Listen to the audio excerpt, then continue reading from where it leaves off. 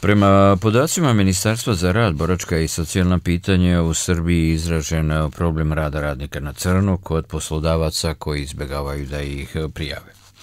Zbog toga je ministarstvo na svom sajtu počelo da objavljuje podatke o firmama gde su inspektori utvrdili da ima neprijavljenih radnika.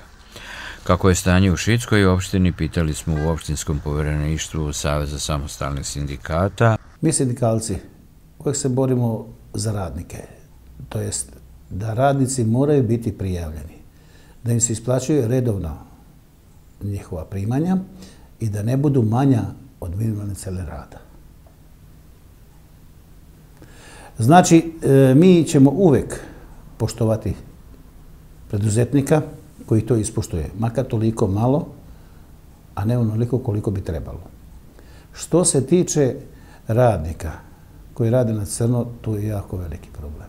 Sindikati smatraju da država mora oštrije da reaguje i da je broj inspektora na terenu nedovoljan za kontrolu poslodavaca. U Šitskoj opštini e, znamo, svi se pravimo nevešti i nezdalci, da u građevini radi 80% na crno.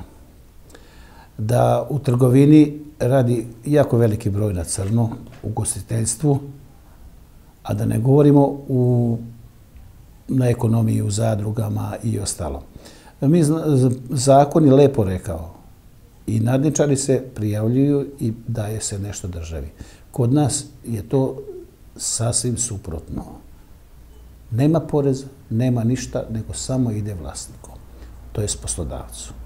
Uz ovo, naš sagovornik iz Šitskog povjereništva ističe da radnici izbjegavaju da prijave poslodavca jer se plaše da će dobiti otkaz.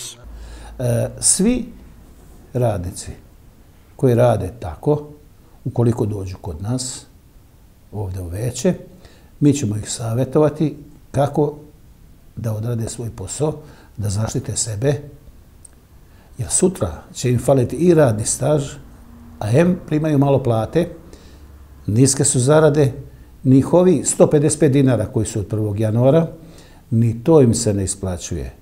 Posebno se to odnosi na trgovinu, gdje su mnogo manje plate i ugostiteljstvo. A građevina su dobro, oni prelaze taj zato što rade neke druge stvari, ne druge stvari, teže stvari i oni prelaze tih 155 dinara, ali nisu prijavljeni. A oni imaju strah od poslodavca da se prijave. Dolazili su tu kod mene, kao i svude u svim našim većima, e, da se raspitaju kako da se zaštite.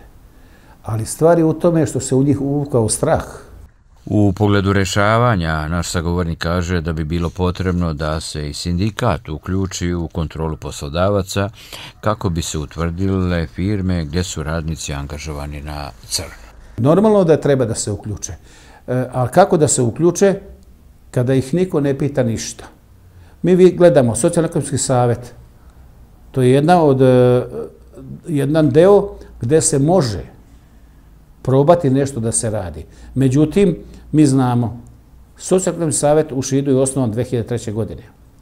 Radio je do 2005. godine. Od 2005. godine ne radi zato što vlast ne želi da radi taj socijalno-ekonomski savjet, da bi mi uvek ukazivali na problem ne zapošljavanja, nego prijavljivanja radnika i plaćanja dažbina za te radnike.